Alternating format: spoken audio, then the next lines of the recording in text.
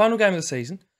Our fortunes have really took an upturn since the previous episode. And with that, can we get ourselves a promotion?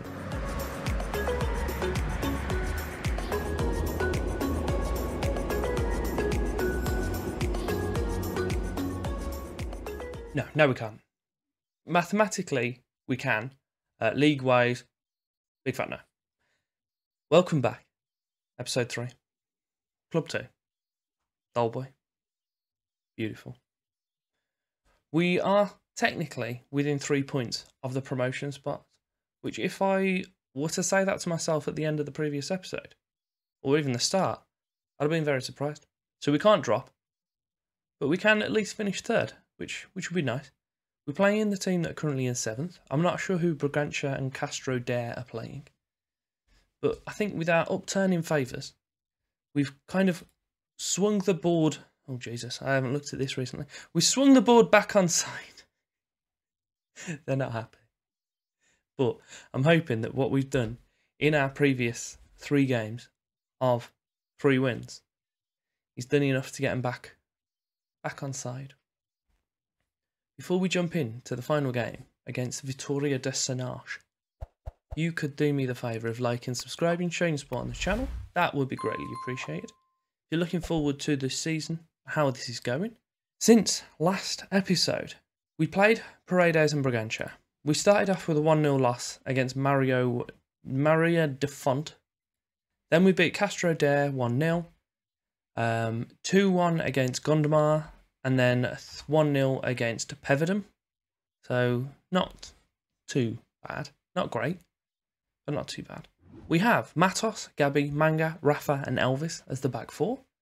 Manga and Rafa no longer dislike each other. They've just got a kind of tedious link between the two.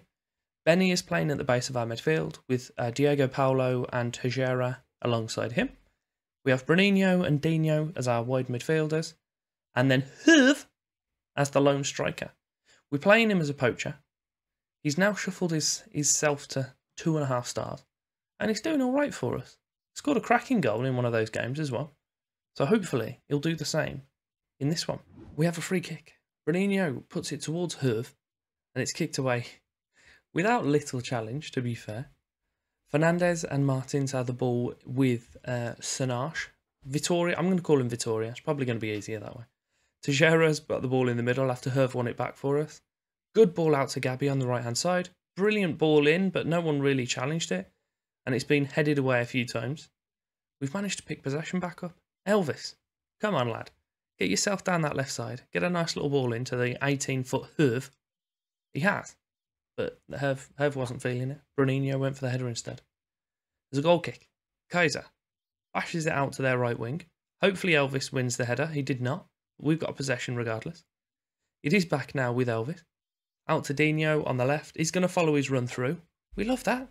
We love a good aggressive run from a fullback. Herve wins his header that time. It goes down to Bruninho. Put back through to him. Oh, and he's dragged his shot ever so slightly wide. Gabby throws it short to Manga. Puts it forward to Tejera. Back to Gabby. Manga, Gabby, Bruninho. Ah, it's it's nice little play. I'm um, I'm a big fan. Paulo, back to Rafa. Everyone, just just make sure you keep possession, guys. We all had a conversation about this last episode, didn't we? Elvis whips it across. Herve, Oh, he's not scored that. I think one of my main things next season is getting like a good forward because I think forward is probably between forward and holding mid are the weakest parts of my team. Other than that, I think everyone else is relatively quite strong. It's just the issue that they are so weak. Second half now, we're just coming up towards the hour mark, but uh, the ball's being cleared out by Vittoria. Bilal has it, knocks it back to Fernandez. Martin's out on their left side. There's, I don't know, I, oh, I just don't know. I've got to bear in mind, though, to be fair, these are like the top two teams from each of the divisions. So I think when we get into our normal division, we should be a hell of a lot stronger. I've noticed us getting better over the last few games as well. But it's just if the board want to keep me on. If they don't, I mean, it's not going to be the best, is it? It's not ideal. We really could do with winning on a four leaving, sorry, on a four game winning streak.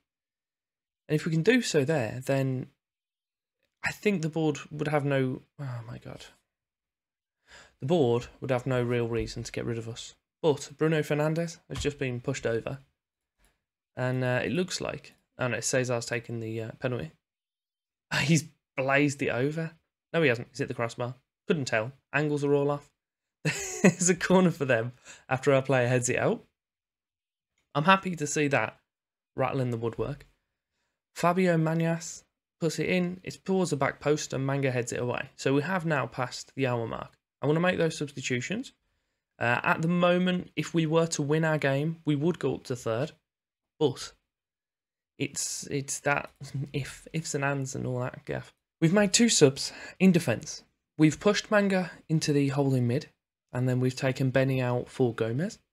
And I've taken Elvis off on the left hand side, and I've brought in Nuno Freitas because he got a nice little assist on one of the goals. Since we've got Herve up top, I'm going to stop. Uh, oh, I'm still floating. I didn't realise the floating was a thing. I'm going to start hitting earlier crosses just to get him into him a little bit more frequently. 15 minutes left. Still kind of just floating about, really.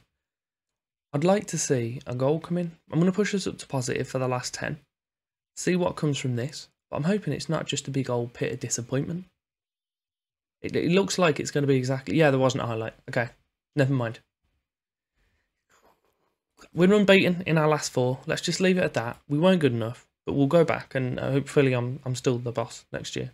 In the blandest opening of a season review I believe I've ever seen. We'll have a little look. So, our new arrivals. Uh, obviously, we didn't make any, so I'm not going to go into these in too much depth, but I'm just going to skip through, see if there's anyone really that the board properly disliked, or if there's anything that stands out for the positive. So, Marafona got a B. Uh, I think Tavares got a B as well, with minimum fee release clause of 50k, and they're happy with that for some reason. And then there was a one more B as well. Where are you? Thiago Santos, lower wage than expected. He hasn't played too much, to be fair. Transfers out. Uh, they weren't happy with Carr. Uh, that's about it, really, to be fair. He played quite well by the looks of it. And we got one whole thousand for him. We only achieved mid-table in the uh, the promotion stage, I believe, is what they refer to it as, or whatever. Um, but they weren't particularly happy about that.